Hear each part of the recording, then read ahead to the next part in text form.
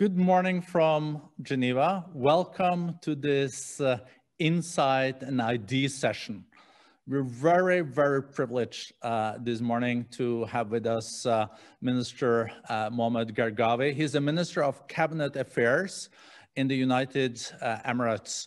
Uh, UAE. And um, we know that the UAE has been a leader for many years when it comes to innovation, entrepreneurship, and the competitiveness of uh, UAE uh, is quite incredible. They have built um, a new structure. They are a hub for innovation and have at used they used to have one of the busiest airports um, in uh, the world.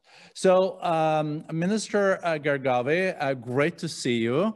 And we know that uh, UAE has also, of course, been in the middle of the struggle with this uh, pandemic. Uh, we're not uh, out of the woods yet. I heard that you have uh, personally also now taken uh, the vaccine. We know that business is back now in UAE, but we all have to pivot uh, in this situation. And last year, when we met in Dubai, where you were also an incredible important part of the Global Future Council meeting, you said that um, we have to collaborate more in the world because a lot of the challenges that we are met with uh, are common challenges. And look at COVID. COVID um, anywhere is everywhere. And do you see this collaboration happening uh, in the world? Um, no. And what kind of collaboration do we need? Uh, welcome. Thank you, Borge. Thank you for uh, having me, and thank you for uh, the World Economic Forum for engaging us. This is our third meeting, actually, uh, with you. Uh, I think it is a critical time in a human history. Whatever had happened, a lot of country, a lot of government, a lot of people actually did, didn't grasp it yet. A turning point in human history. Early on, we've seen country looking inward, actually so it was for them survival to the point that they were hijacking, you know, medicine and uh, other uh, medical equipment. I think if we don't work together, this issue will continue for generation.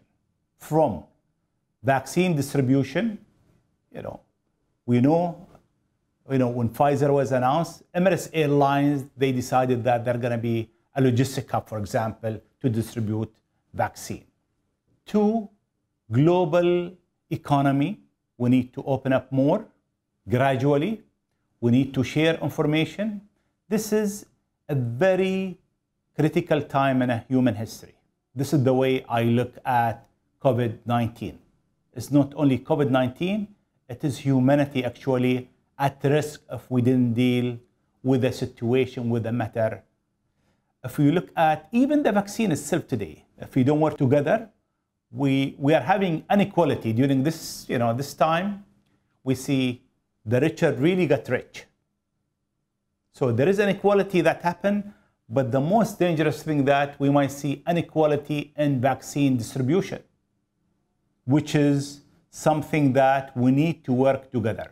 What we did really from early on, as, as a nation, believe that as, as the Emirates, we are a nation who have also a mission. We're not perfect, but always we look forward. One thing we did, we decided that we, we shouldn't look only inward, we have to work together. Uh, from the beginning, you know, there's shortage in medicine, in masks. We send actually medical equipment to over 100 countries. In a difficult time when nobody was flying, so we transfer our fleet to be a cargo for medical. And I think country will be evaluated in the future and their resilience, not resilience internally, but how they work together to fight a pandemic that didn't discriminate between color, religion, country, anybody. Everybody was in it together. So we need to sort it uh, together. Within our, our region, I think so, uh, situation was a bit different. Uh, certain countries, they have the capability. Other close early. We were working together. We're sharing information. We look at the world at one. And we are getting out of it gradually. Certain sectors fine. Life, it's there. the most important thing that we find out that maybe we didn't have a lot of cases, the country was almost open because we had a vaccine that everybody talked about early on, which is the mask. Everybody in the country had a discipline, actually, everybody, in wearing mask everywhere. And I think this is one, it's very simple, but very important. Now the situation is changing with the vaccine, and I think next year, hopefully, globally, regionally, we'll see a better impact in all of us, and hopefully business will move on. How many, uh, I'm just curious, uh, how fast will you now roll out the vaccine in the UAE? When do you expect to have vaccinated uh, the most vulnerable and also um, all your uh, population? From now on, I mean, we, we started actually. We started with the front line uh, almost from the summer. I took today my second vaccine. So I am I'm one of the people who took uh, the vaccine, plus, you know, so many ministers that we believe that we need to be part of this journey as, as a human journey. And you, are, uh, you feel okay after the vaccine? I, I feel fine. The first one was uh, three weeks ago, Borge, you know, and I have a lot of call because it was in the media. So I have friend, family calling, you know, there is, if we look at the social media, there's so many, uh, you know, theory about vaccine. But today we know that COVID will stay. And the only way out of COVID is wearing mask and vaccine. And the vaccine that, you know, there is different variety of vaccine. You have to decide which one you'll take. And we don't know all the information about the vaccine in the world, but hopefully by the end of next year, it's going to be clear which one you can take for longer period, how often you need to take, you know, the antibody and other, other issue. So our plan really, it is people can vaccine, they can go right now. You know, there is center where you can go and take the vaccine from now on. So no, thank you for sharing that. I think we're uh, already uh, know uh, for the vaccination and also looking uh, beyond um, also uh, the COVID, but being better prepared and more resilient um, in the future. In the middle of uh, the whole pandemic, you were also able to take some very um, substantial um, policy initiatives from the UAE. For example, uh, the Abraham uh, Accord uh, was one of them. Um, how do you expect uh, the Abraham Accord to play out now uh, in the months to come? And how do you see UAE leadership uh, in uh, the global cooperation that is uh, now needed, and also with the changing political landscape that we are, for example, seeing in the US? Uh, first of all, I think if we look at why Abrahamic Accord, if we look at the region, Borge, for the past 70 years, we went through five major wars It costs the region 11 trillion dollar. Million of people have died. You have 10 million refugees. So the region try war and the result been negative in the region. It is very important in this era and for the future generation that we have to be responsible. The region tri-war didn't work. We are trying to develop the region through peace. It's a bold initiative that took place. And we believe that we have a responsibility. Responsibility toward our region, toward our future generation, and toward the world. Unfortunately, if we look at our region, hatred been created radicalism, extreme ideology, not only the region has suffered, but also it was exported globally from radical ideology. We suffer, the region suffer, and also globally, you know, the Paris incident. A couple of weeks it was in Austria. So to understand what why we are doing whatever we are doing, we don't do it for ourselves.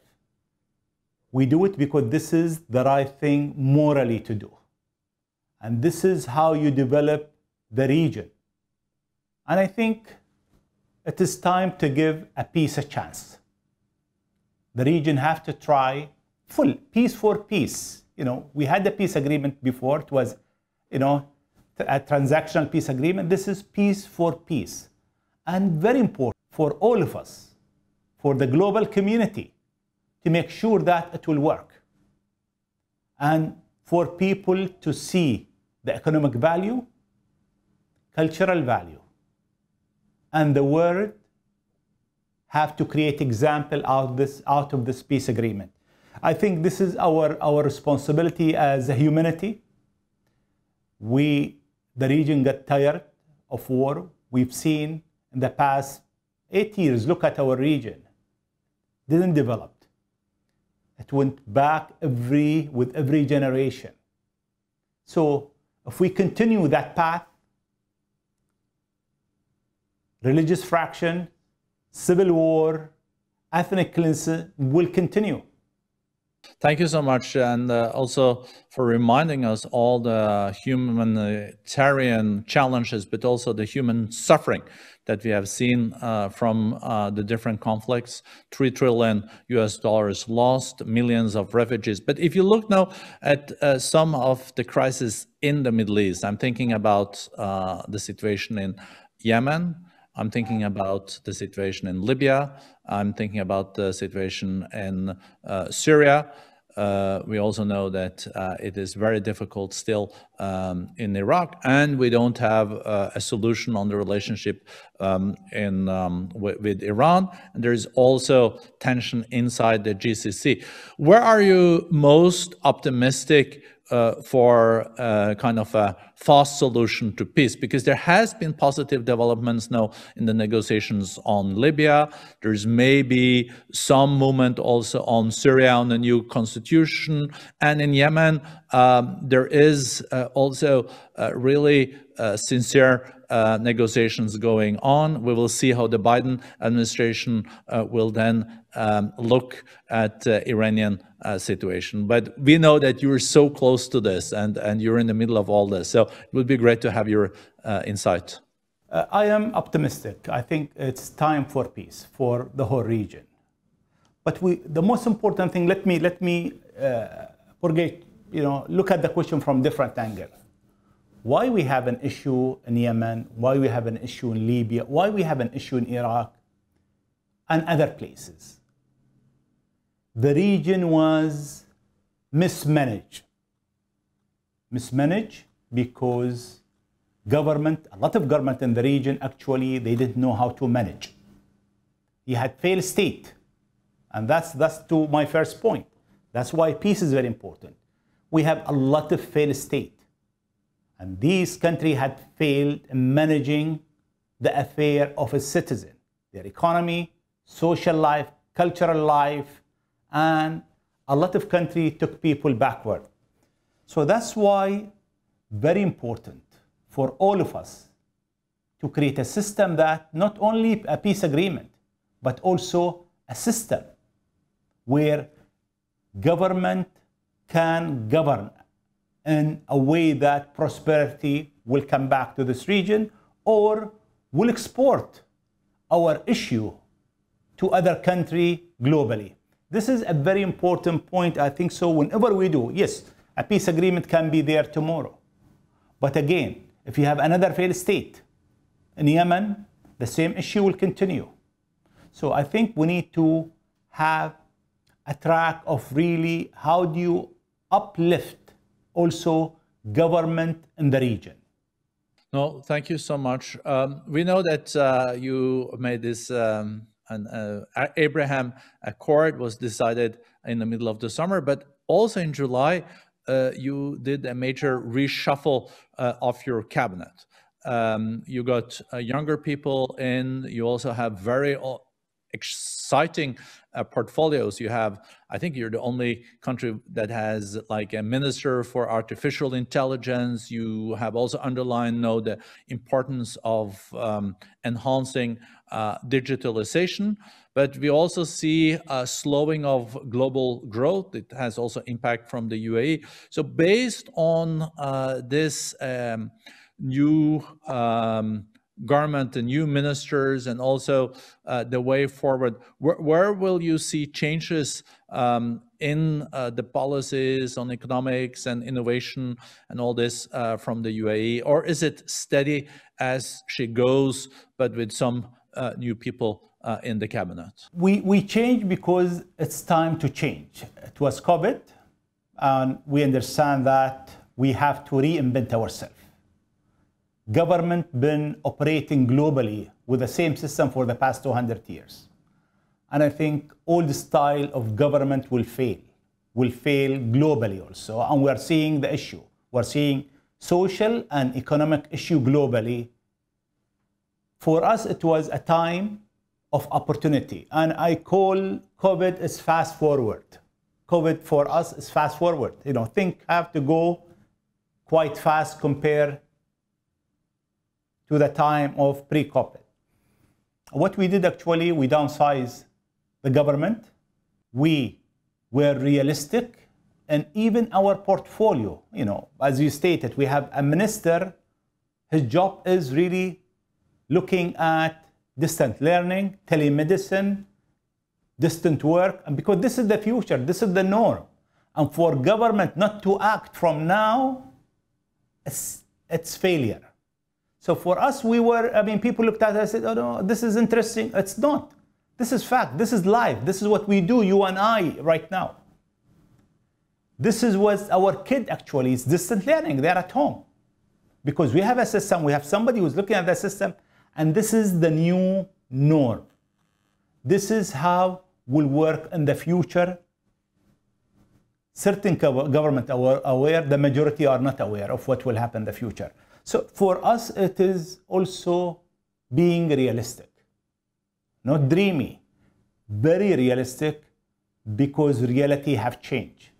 And when it comes to economy, the system globally have changed. Your logistics system have changed. Your e-commerce have accelerated. Your retail, you need to look at it from a different perspective. It's a new life actually, a new social life, a new economic life, and also, if you look at United States election, it's a new political life. We are in a new era. We need to adjust to it, but also I believe there is opportunity for country that move on. The gap will be huge, by the way.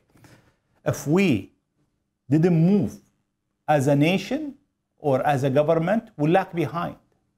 Today, also, country have opportunity I told you we, downsize, we downsize the, the, the government. The importance of government is it will be much more than before. COVID globally managed by government. COVID showed us also when government and politician doesn't look at the healthcare system, they fail. And the system fail. And their economy fail. And they'll have a social issue within their society. So it is a good stress test for government globally, for politician. And with us, we decided that we need to move fast. As you said, it's fast forward. We need to be agile and we need to give people what people want and what's important for them was before we had economy, before uh, politics, as His Highness Sheikh Mohammed stated. Then he said during COVID, it is actually health, economy than politics, who will carry everybody. Well, thank you so much. Um, we also, um, together, um, we inaugurated uh, the Fourth Industrial Revolution uh, Center um, affiliated center uh, in Dubai. Uh, the World Economic Forum has its main center, as many of you maybe know, in San Francisco, but we have affiliated centers. And the first one was opened uh, in Dubai. Now we have uh, eight of them, and we will very soon have 10 of them. I'm thinking about how much do you discuss in the cabinet um, the fact that uh, success in the future will be based on how far uh, you have come to implement the new technologies. Those most powerful nations uh, and most successful also when it comes to prosperity this century will be those that are on top of big data, artificial intelligence, machine learning, and all this. So I where do you think the UAE stands today? Are you happy of on where you stand? Where would you like to be in a decade? Do you see yourself as the new Silicon Valley uh, of the Middle East? And um, where are you today? And you think you will get there? When it comes to technology, uh, Borge, we need to understand now it's actually we live in the first second of the first minute of the first hours of the first day of the first year when it comes to technology. Technology just have started. That's why this time period is very important in a human history. So this is just the beginning. And the gap in the next 30 years, it wouldn't be 30 years between country that embrace technology and country that don't embrace. It will be in hundreds of years. The gap actually. The economic gap, the knowledge gap within society for us, we believe that we have a mission. One mission is really how do we give hope for young talent within our region? This is very important for us. As we stated, we, we decided that, you know, for us as a nation, we need to be a nation with a mission in life. As, you know, human have, have mission, company have a mission. As a country, we have a mission in life.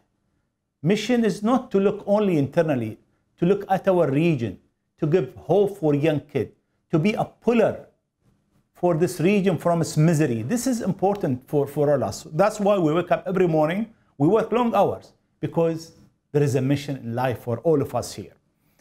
When it comes to technology, I think we are very much in the forefront of technology. We embrace technology. We have a Minister of Artificial Intelligence for you know distant learning, from telemedicine plus so many other. Because we believe that if we didn't do that, we'll lag behind. So in government, I'll give you two examples. A lot of country closed school actually during COVID. For us, we started digital schooling 10 years ago. We were open through the whole thing. We had exam, student learn, but we didn't stop there. Last week, His Highness Sheikh Mohammed announced digital school actually.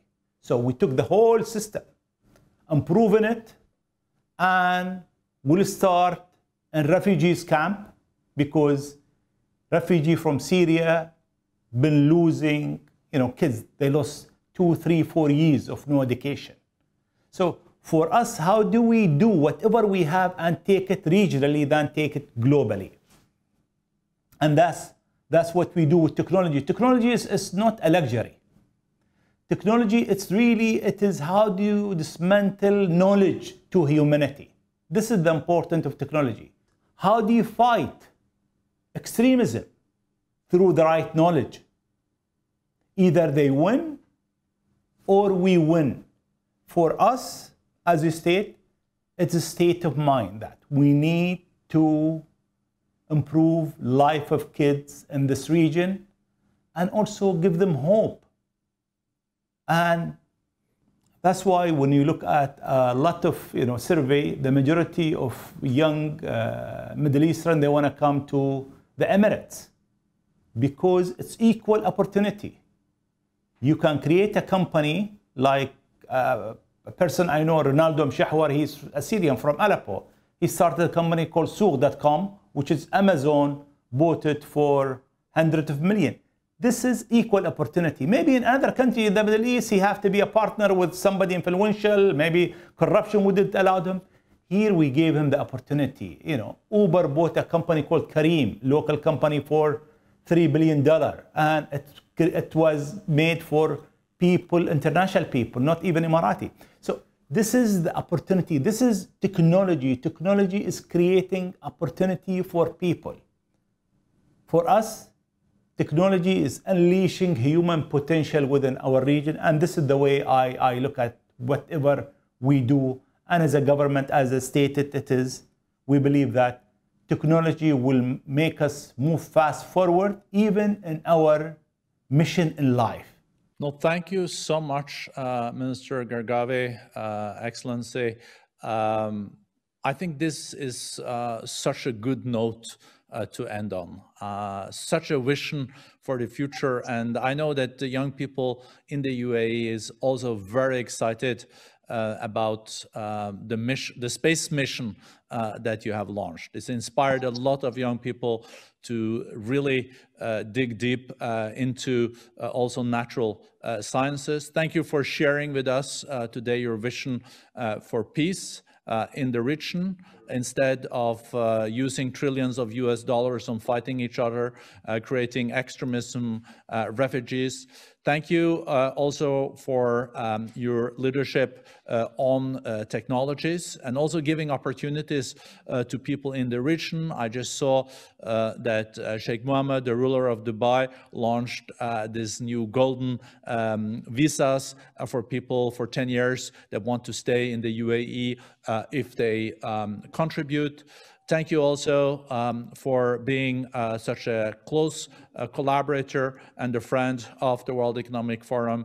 Um, His Excellency Minister Mohammed Al Gergawi uh, of the UAE. Thank you so much. Shukran. Thank you, Borge. Thank you. See you.